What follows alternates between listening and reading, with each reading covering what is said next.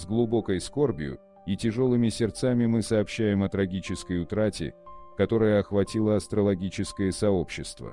В возрасте 66 лет ушла из жизни знаменитая астролог Тамара Глоба, оставив наш мир беднее своей мудростью и знанием.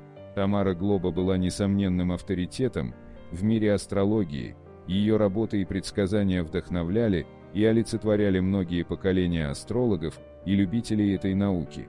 Ее глубокое понимание звезд, планеты и их влияние на судьбы людей сделали ее знаменитой и уважаемой во всем мире.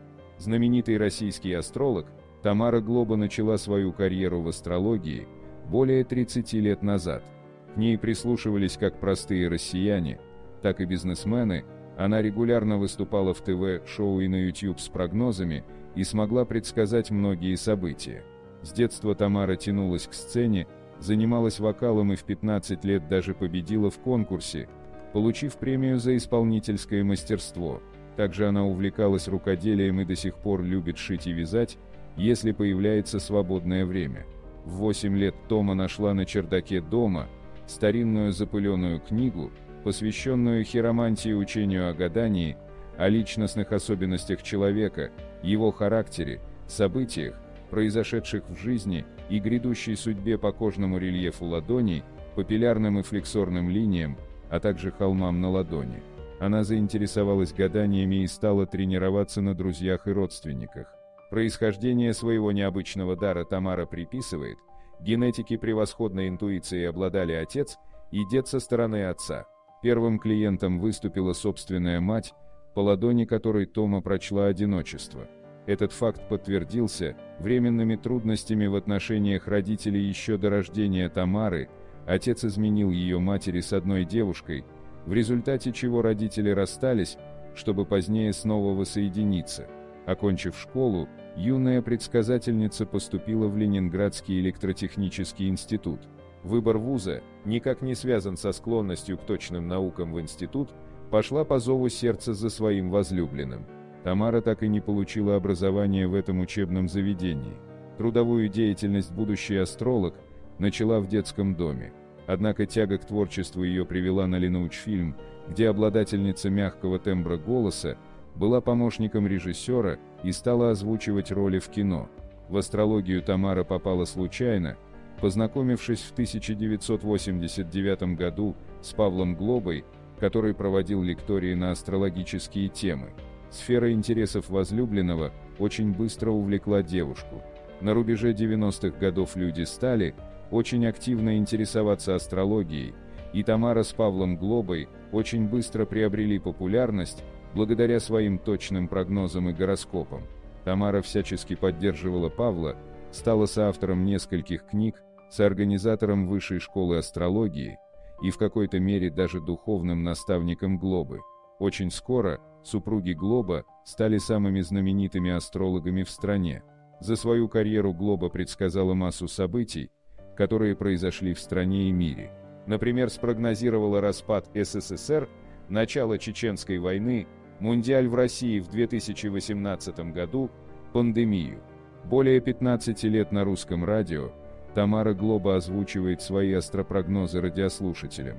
В 2015 году она стала третьей ведущей в шоу «Давай поженимся» на Первом канале, где давала жениху и невесте расклад на их совместное будущее. Ее соведущими были Лариса Гузеева и Роза Сибитова. Глоба проработала в этой передаче до 2018 года, заменив ушедшую в декрет Василису Володину. Астролог рассказывала, что никогда не испытывала дефицита внимания противоположного пола. Стройная, высокая, ростом 172 сантиметра и изящная, она покорила не одно мужское сердце. Первым избранником Тамары стал ее одноклассник Сергей, за которого она вышла замуж в 1977 году. Они были вместе 7 лет, за это время у их родилась дочь Анна в 1982 году, а через два года пара развелась Тамара, разочаровалась в муже, который не стремился к семье, а ее не поддержал в критический период онкоболезни. Ей было 23 года, когда у нее обнаружили рак, она лежала в больнице, но муж ни разу не навестил ее. Вторым мужем Тамары стал астролог Павел Глоба. Когда она работала на киностудии, Павел приехал из Москвы на съемки фильма. Во время работы над лентой «Маски сна» у них случился роман, переросший в супружество. Для Глобы Тамара стала четвертой женой. В программе «Наедине со всеми» Тамара Глоба рассказала Юлии Меньшовой о горе, которое пережила в браке с Глобой. Ей пришлось отвечать в высоких кабинетах за мероприятие мужа, которое он не провел и скрывался. Тамара была беременна, но влиятельных людей это никак не остановило, ей устроили невероятный допрос. Из-за стресса у будущей мамы случились преждевременные роды, а младенец через 10 дней умер. Позднее у супругов появился сын Богдан, он родился в 1986 году. Он, кстати, пошел по стопам своих родителей и стал астрологом. Однако, как рассказывала Тамара, Павел никогда не был хорошим отцом своему ребенку. А вот с третьим мужем Тамара почувствовала себя по-настоящему счастливой. Избранником стал олимпийский чемпион по плаванию Вениамин Таинович.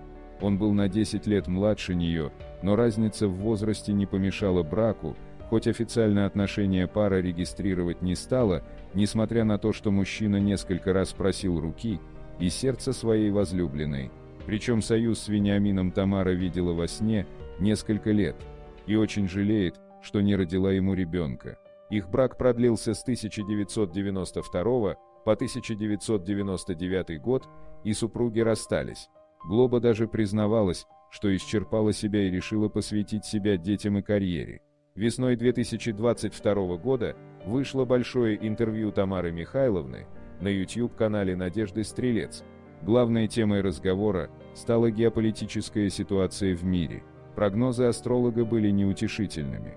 Наиболее сложным Глоба назвала 2023 год с точки зрения возможности наступления локальных вспышек заболеваний. К слову, пандемию коронавирусной инфекции эксперт посчитала сдерживающим фактором без него, по ее мнению, могли бы возникнуть более серьезные военные потрясения. К 2026 году Тамара Михайловна увидела наступление так называемого открытого мира – когда все люди смогут перемещаться по земному шару без виз. Что касается более близких перспектив, в геополитическом плане для России, то это, в первую очередь, развитие Восточного Союза, большая ориентация на Азию. Сегодня мы прощаемся с талантливой женщиной, которая способствовала раскрытию невидимых закономерностей космоса и вдохновляла нас смотреть ввысь, искать ответы в звездах и находить в себе связь с бескрайним миром Вселенной. Ее уход оставляет огромную пустоту в нашем мире, но ее наследие будет жить в сердцах и умах всех, кто ценил ее работу и познания.